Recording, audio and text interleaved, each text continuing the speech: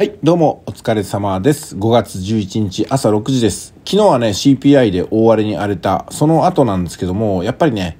波が落ち着くまではしばらく待たねばなりませんが、多分今日の午前中あたりには落ち着くんじゃないかなと思います。で、これ冷やしですけども、冷やしもね、元通り、今のままでいくと、一時期的な乱れはあったんですけども、このチャンネルラインを守っていくんではないかなと思いますね。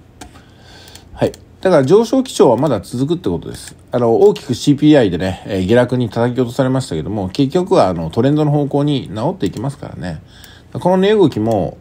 こういう風な形を取り続けるんではなかろうかというふうに思いますね。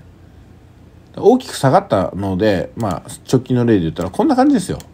結局、戻っていくんだろうな。それが鋭角に戻るのか、それともしばらくね、値動きをうようよした後で戻るのかってとこですけども、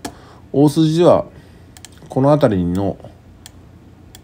レンジに戻っていくんじゃないかなと思いますけどもね。ちょっとずれちゃいましたけど、すいません。はい、でこれが4時間でしょ？で最終的に1時間見ていきますけどもだから今日この辺りの値動きがどのように落ち着いていくかまあボラティリティがどんどんちっちゃくなっていってるでしょ？ね、最初はあの上下髭のあの陽線だったんですけども次の陽線ではちょっとまとまりかけていって陰線は出たんですけども下に行くのも髭を出してね戻ってきて今ここにいるわけじゃないですか。でだんだんローソク足の太さも太さっていうかね上下の長さも短くなってきてまあ割とねこの辺りの大きさに近づいてきたってことだと思うんですよ。ですので落ち着くのもうちょっとかなと思いますんで今日午前中はたっぷりとね様子を見ようかと思います。はい私もねだから様子を見るためには今日午前中床屋に行ってきますんで。